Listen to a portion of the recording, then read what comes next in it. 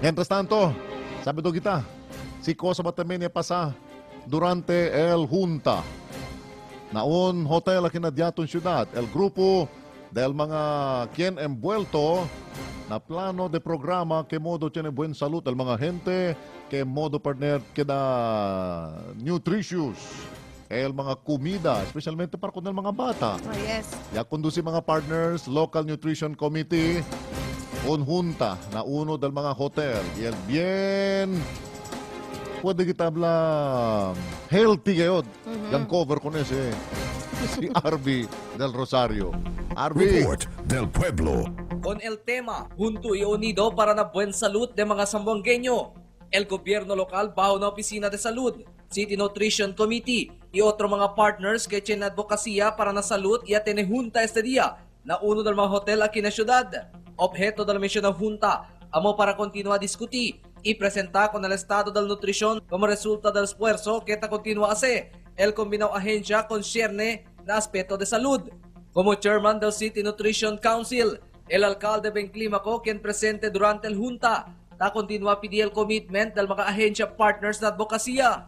we would like to solicit your support that we will be having campaigns that mothers and children would be given better nutrition in the city of Zamboanga by ensuring that we practice proper maternal and child health. Na parte también di Dr. Rodelin Agbulos, el City Nutrition Action Officer.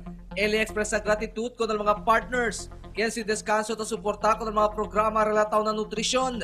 Por causa, según con estos, ta continúa a recibir klase-klase de award y recognition el gobierno lokal. We usually sit down and come up with the annual planning for nutrition for every year. And because of this, uh, I think yadali ka natin alto uh, grado no el mga yatud mga evaluators kay they have seen how the council work in collaboration with each other no? And importante kasi no?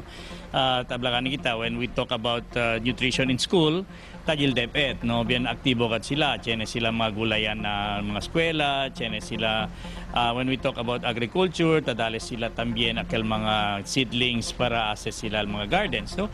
And uh, of course el city of Zamboanga on the part of the city health office yasa tayong kita mga innovative programs no? Este mga proyekto programa no ay sa na otro lugar kanaton lang se uno gani sa el di aton the most recent is the high risk maternity clinic agi na city health office no Siendo pa kabaday al año, ay planea también según sila, cosa debe hacer y inicia mga programa para ng siguiente años que viene. A lo menos puede mantener el estado de salud aquí na ciudad.